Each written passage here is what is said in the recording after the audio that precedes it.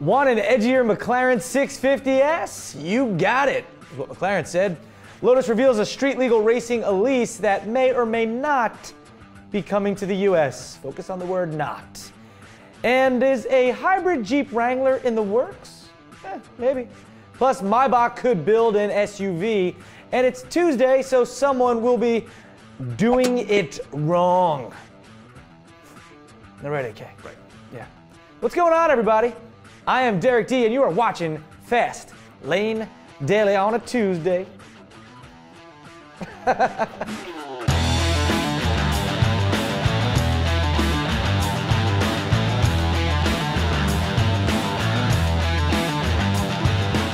AK, what episode number are we working with? 2016, Derek D. You're right. Uh, that's just the episode number. What's going to happen next year, Derek D? Uh, a couple new cars coming out. Mercedes has just introduced the Maybach S600, or Maybach, as 50 Cent says, for a lofty 189 grand. And now they are rumored to be working on an SUV that will also carry the Maybach name. Yes, that's right. SUVs just everywhere. Based on the Mercedes GLS, the luxury SUV would likely be extended so rear passengers can have more luxurious legroom. Of course, there will be a lot of more onboard luxury and definitely more chrome. You need more chrome. You're going high end, pack on the chrome. Now, not only is an SUV planned, but Mercedes may be planning some other Maybach models in the future. In other news, my lower Bach has been a little sore lately from doing all those deadlifts. You do deadlifts? Yeah. I mean, I do them right, but still, your lower back can get sore a little bit. Sounds like you're doing them wrong. My lower back. Jeep's next generation Wrangler is coming soon, so they are considering some engine options for the classic model. The latest suggestion is a hybrid to improve off road performance. Okay, okay, all right, all right, calm down. All you Jeep purists were just like, oh, come on. Hey, guys, you just got to embrace it. All right, not definite, we're just saying it could happen. Plus, think about it the instant torque of an electrically assisted engine would help for rock crawling and off roading in tricky situations. The obvious drawbacks for a hybrid system include the need to recharge, of course, when off roading is inherently far from civilization, but of course, you still have the gas or petrol engine to get you out of that sticky situation. So, hybrid Jeep Wrangler, I'm open to it. Okay. Yeah. Lotus has revealed a new version of its Elise, the S Cup, which the UK automaker calls a street legal race car, which is pretty friggin' sexy if you ask me. I like it. That's a nice S Cup.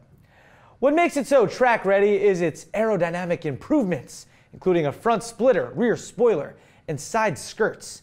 Inside, there's a roll hoop, which is basically a roll cage, and electrical hookups to install a kill switch and fire extinguisher. Power will be rated at 217 horsepower and 184 pound-feet of what, Erica? Torque. That's right. Ooh, feel like it's been a while. Yeah. Yeah, I felt rusty. a little rusty. That means the Elise S Cup will call 60 and let him know he'll be at his engagement party in just 4.2 seconds. So he'll be there. oh, well, you want one here in the States? Too bad. Lotus doesn't plan to sell the Elise S Cup here, but on the other side of the pond, well, that's going to cost you about 66,000 bucks if you want to buy one. I think it looks cool. I like it. I like this lime green one. Looks cool. And uh, looks like McLaren won't just save the GTR treatment for its P1 supercar. No. Dutch media has said the 650S will also get a GTR version with more power and less weight. In the 650S, the 3.8 liter twin turbo V8 makes 650 horsepower and 500 pound feet of. Torque. Okay, that was not rusty. That was great. Thanks. Excellent job. But the GTR would certainly have more grunt while losing about 220 pounds. That would make the 650S GTR weigh just 2,712 pounds. The GTR would also best the 650S's 3 second 0 to 60 run and 207 mile per hour top speed. Whoa, pretty fast. We'll learn more when the model makes its public debut at the Geneva Motor Show alongside the P1 GTR. So if you're uh, loaded and want to basically buy a race car, then this could be the car for you. That's all I'm saying. Got to have that cha-ching though. Hey, It's time to, uh, you know, to make ourselves all feel better by watching someone else do what, AK? Doing it so wrong. That's so right. Here we have a guy in his white Ford Ranger who is helping to get his friend's Dodge Ram out from being stuck. So, a logical person would back up slowly, tighten up the tow line till it's pretty, you know, tight, then give it some gas and hope to pull the truck out from being stuck, right? But no, he does this. That was hilarious. Yes, that was hilarious. I love the way that guy says that. This is great.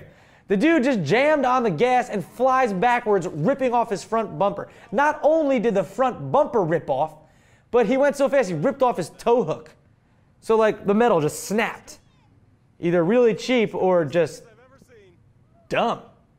The guy filming is great, though. Not only did he say, that was hilarious, That was hilarious. but then he says, That was one of the stupidest things I've ever seen.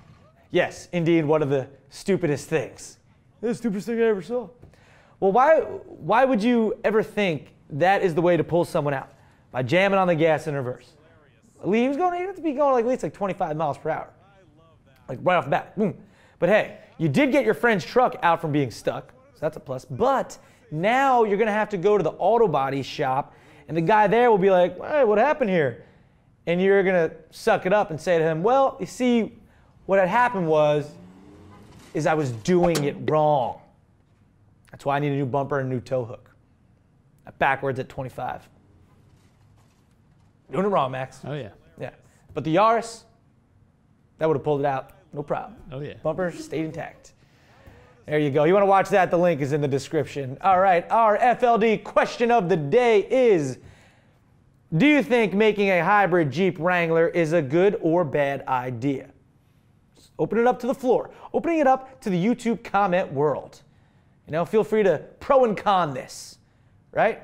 Use hashtag FLDQ of the D and let us know. Of course, you can send your own question or video into us because we use them on Thursdays to, uh, what's that email, AK? Tips at fastlanedaily.com. That's the one you're going to have to get in touch with. All right?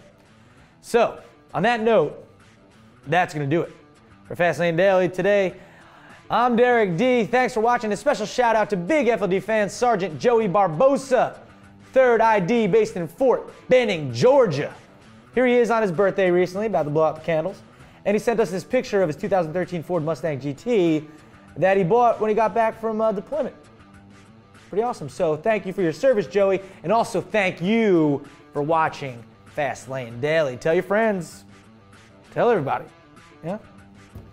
Thanks, Joe. Joey, Joe, Yeah. same thing. Appreciate it. Appreciate all you guys. Here's to you. On a Tuesday. On a Tuesday. On a Tuesday. Earl in the club, Cheese Tuesday. Would, would that be two on the body? No, one. One, one. insane. Whatever. It was my first rodeo.